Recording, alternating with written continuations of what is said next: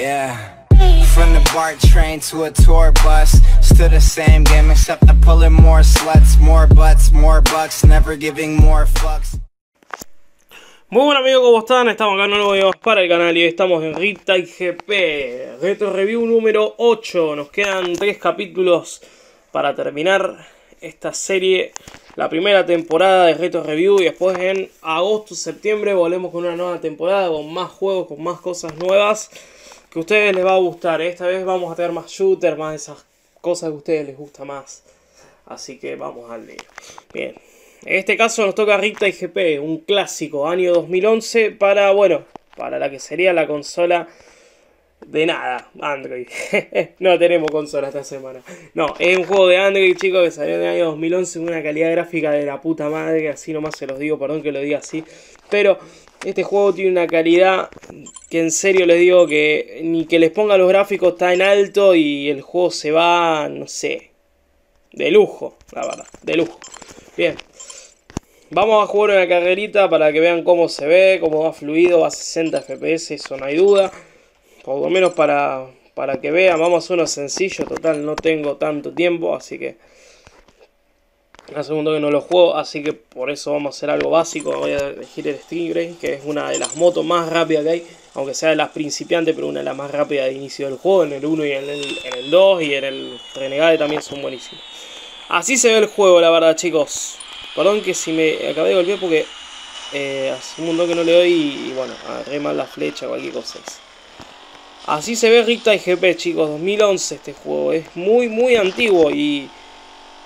Y por ser de Android yo creo que es un juegazo muy, muy duro, la verdad. No voy a hacer algo difícil porque, bueno, es una retro review nomás. No estamos grabando ni a ninguna dificultad. Lo que sí, bueno, es simplemente los campeonatos son así. Los sencillos son pocas vueltas, los, largos son muchas vueltas y bueno. Los bueno, lo que es de nivel medio son muchas vueltas, dificultad cambia. Y eh, lo que sería el sencillo son, bueno, no tiene poca dificultad, pero eh, aunque sea, bueno, esto es dificultad media o, o difícil básicamente también.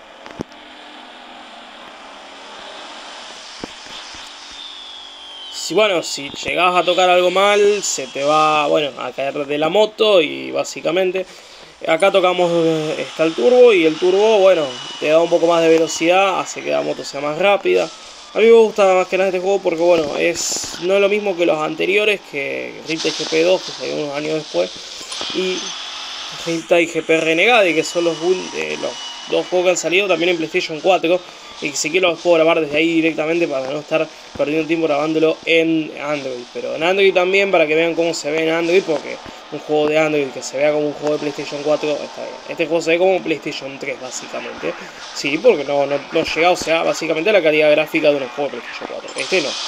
Sí, por eso grabé 2011, bueno, tiene calidad de juego de PlayStation 3 básicamente, tiene una calidad gráfica excelente. Los circuitos son un poco cortos, eso sí, porque no, bueno, en 2011 chicos no había tanta calidad gráfica. Salté y no pude hacer el truco, qué mala suerte. A veces, bueno, la sensibilidad de mi, de mi celular a veces me tira problemitas, pero bueno, no pasa nada. Recuerda que tengo un Xiaomi Mi 9, un celular gaming de puta madre, que no es gaming, pero bueno, es un celular con un procesador de la puta madre, así que si lo a comprar, ya saben, ¿no? Está bastante barato. Encima un celular que te tira todos los juegos a 60 fps, sin duda, no te va a tener ninguno, ninguna caída.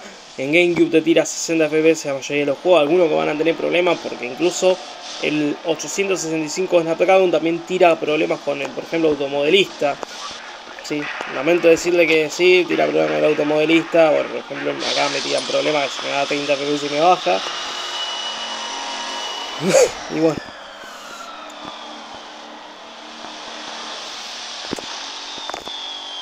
Perdón chicos, ando un poco, no resfriado, pero bueno, ando un poco con tos, así que estoy evitando tener un poco de tos. Bueno chicos, eh, básicamente no puedo mostrar más nada, 428 es una simple review.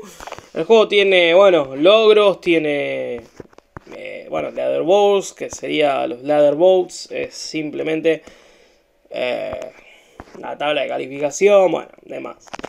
Eh, campeonato, comunidad. Mm, comunidad, bueno, aparece más juegos de Vector Unit. Esto te manda Play Store, pero simplemente los juegos de Play Store no son los mismos que aparecen en el 2011, por favor.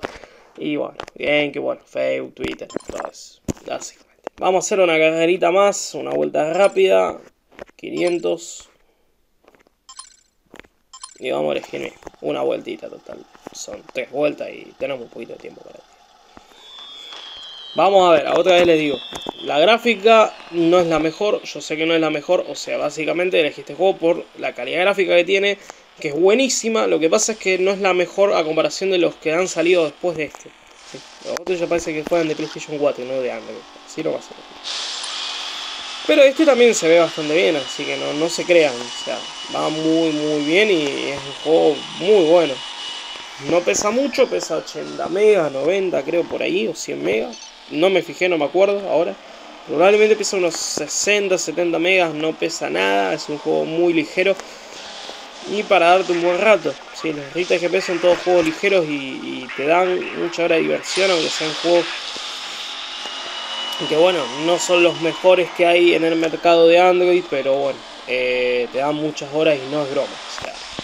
yo he jugado Riptide GP2 en PlayStation en PlayStation 4 me dio bastantes horas para platinarlo, incluso el Riptide GP Renegade, ¿sí? eso incluso en Play 4 se ven mejor que en Android, vamos a ser claros, en Android también se ve excelente, como digo anteriormente, en PlayStation 4 no lo vas a comparar con una eh, Play, bueno, con un Android, sí, pero si lo ponen en gráfica alta las dos cosas y, el Android vuela también, obviamente. Como les digo, no hay duda. Este juego va en 30 a 60 FPS y no tiene ninguna caída. Básicamente este juego por ser 2011 probablemente vaya a 30 FPS. Digo 60, pero no sé. Me tendría que fijar en la configuración de arriba. A ver, eh, no sé, me voy a chocar un poco, pero me voy a fijar a ver arriba cuánto lo tira. Va a 60, bueno, sí, va a 60 FPS. Pero está, bueno, algún juego limitado a 30, sí.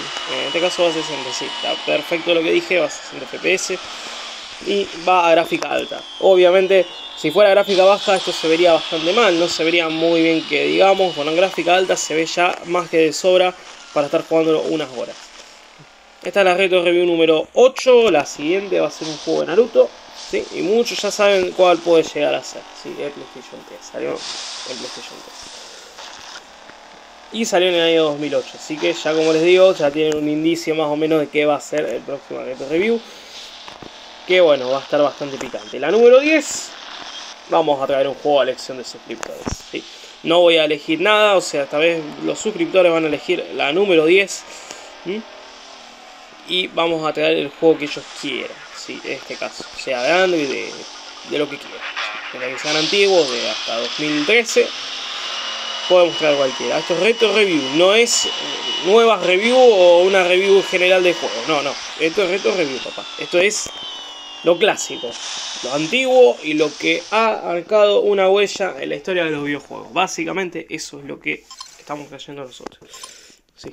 Nada más, nada más, así de corto.